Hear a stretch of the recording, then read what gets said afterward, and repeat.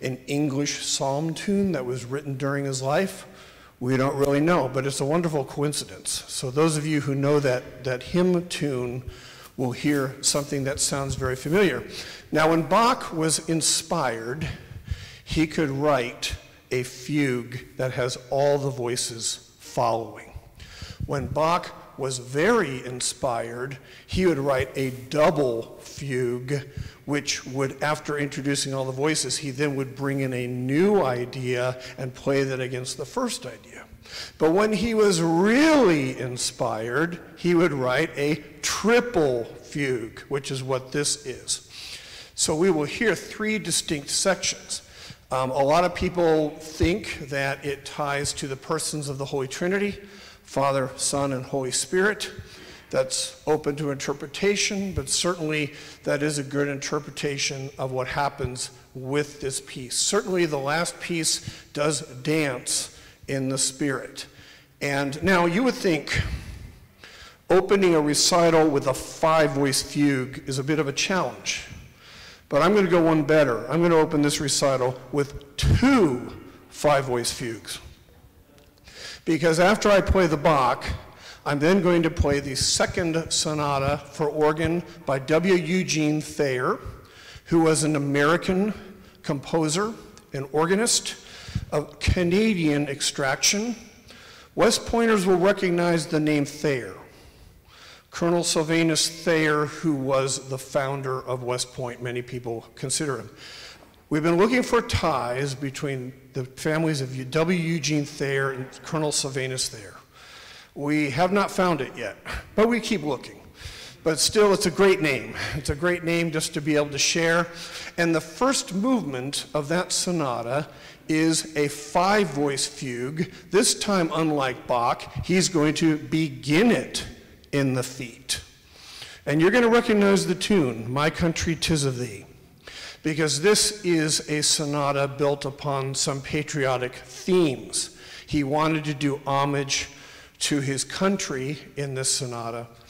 The second movement is not really so much an overtly patriotic theme, it's just called Ein Lebewohl, or a departure. Maybe it's just two friends parting ways or, or whatever it might be, but it's a mood that contrasts three different sounds in the organ, and I have three different manuals here to show those three different sounds. And then the last movement is a rousing set of variations on the Star Spangled Banner. I should add one word. This piece was written in 1862, which predates by nearly seven decades the establishment of that song as our national anthem. Also, with a theme, and then you tack on six variations. That movement comes out to almost 10 minutes in length. For that, and also for the reasons of practicality, please do not feel it necessary to stand during that rendition of the Star Spangled Banner. So I will be sitting, so it's okay. But anyway, this is how we're going to begin. First with the great five voice triple fugue of Bach and then following with a Thayer sonata, beginning with another five voice fugue on My Country Tis of Thee, leading up into the Star Spangled Banner. Thank you for coming.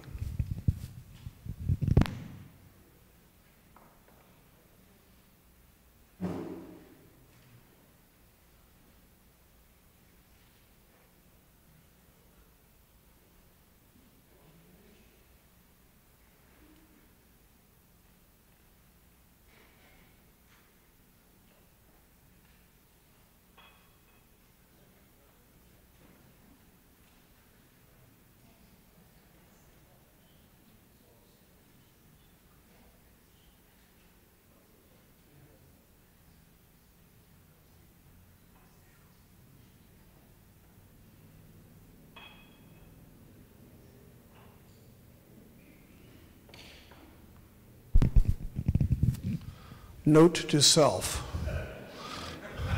it helps to have music.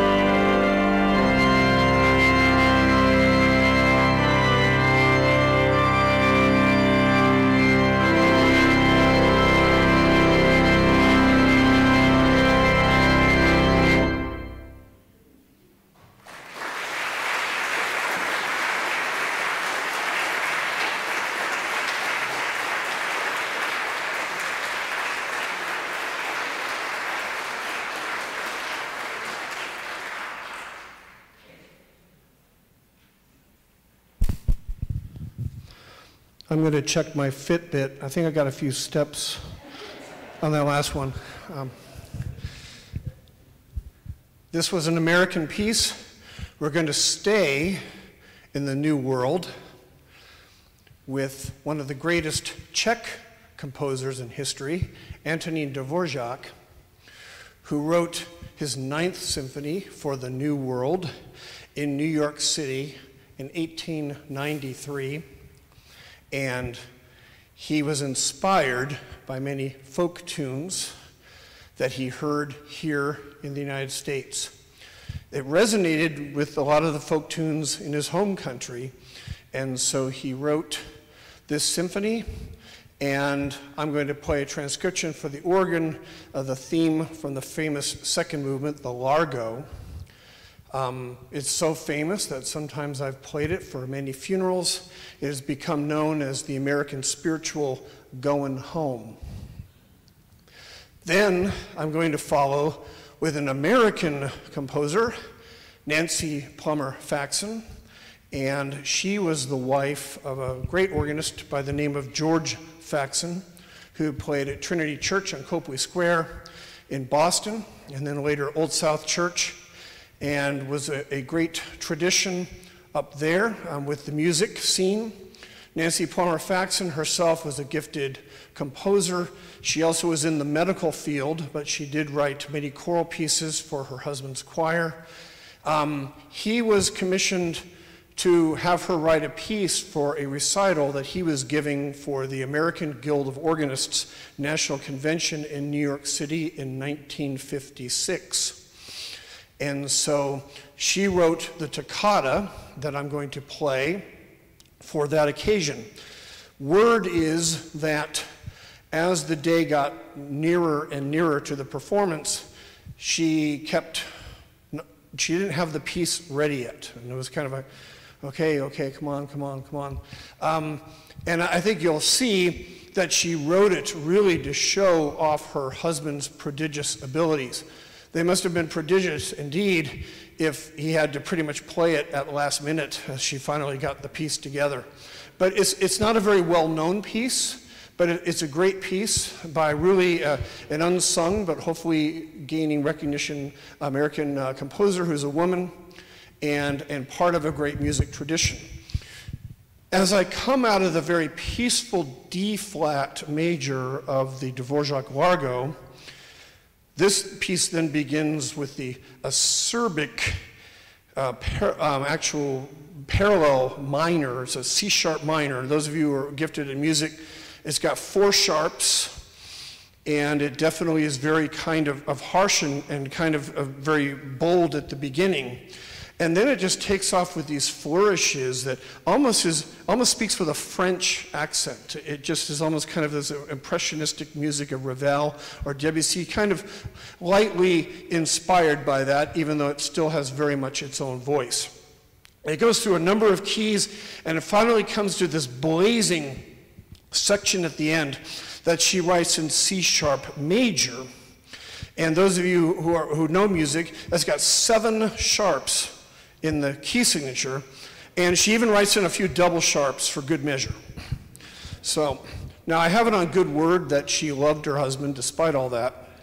And, um, but anyway, he, um, his, the tradition that's carried on by that piece, I'm very glad to be carrying on a part of that American tradition as well.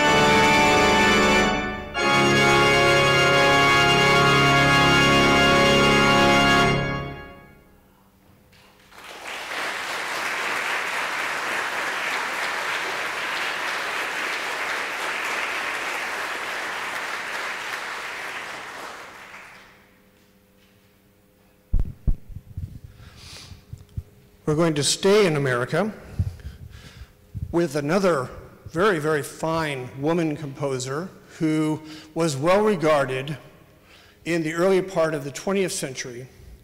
And then her work was largely forgotten.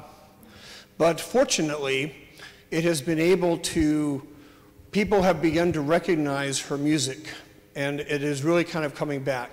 And her name is Florence Beatrice Price. Florence Price was actually the first African American woman to have a symphony orchestra premiered by the Chicago Symphony.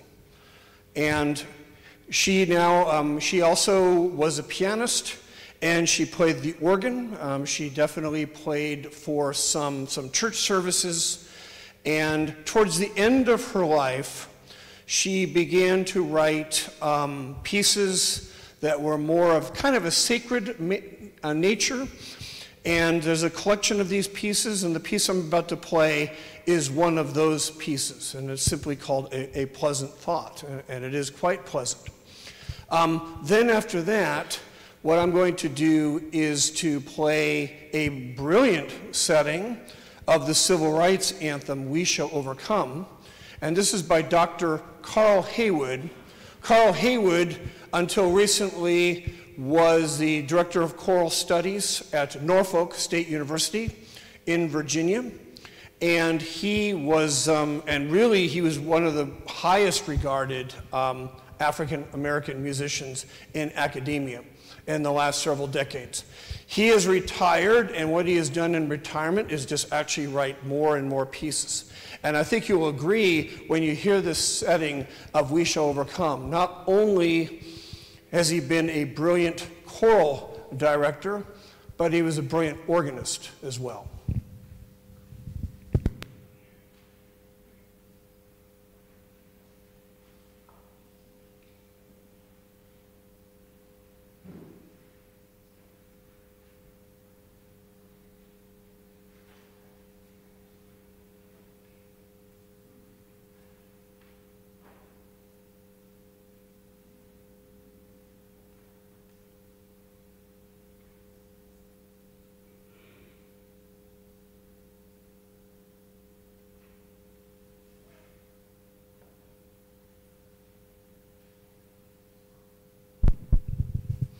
I'm getting a little ahead of myself because we're first going to hear Joshua Fit the Battle of Jericho by Fela Sowande, who is regarded by many as the prince of Nigerian organists. And he actually then moved to Great Britain and he had a love for the American spirituals. Eventually, he was offered a fine academic job here in the United States, and he became a naturalized organ, uh, became a naturalized American citizen before he passed away. But here with Joshua Fit, the Battle of Jericho, we have a wonderful American spiritual written in England by a Nigerian organist.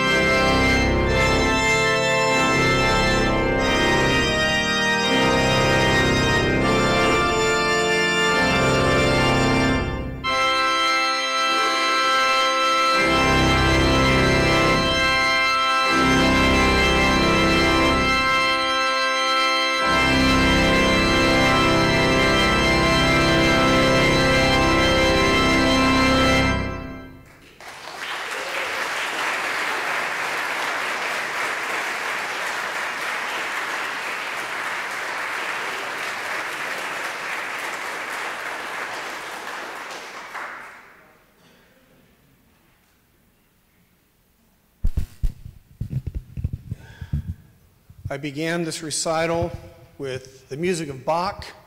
We've really heard many different American types of organ music, but another one of the great traditions of the pipe organ is the French symphonic tradition, inspired by the organs of Aristide Cavaillé-Coll, a Parisian organ builder that began to experiment with higher wind pressures. In the olden days, before even I was born, um, you had organs that you had to push down the keys, and that controlled how the air came into the pipes. So you couldn't put too much pressure on the pipes because you had to be able to push the keys down.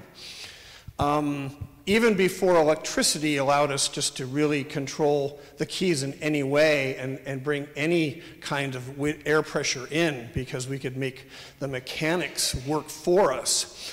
Um, Cavaillé-Coll had used a, a device by an Englishman named Charles Barker, and it was a lever that actually assisted pulling the mechanics that helped the organist. So now the organist could play the keys, and you could actually bring really huge volumes of wind into the pipes. And by doing that, pipes could become, begin mimicking more the symphonic sounds.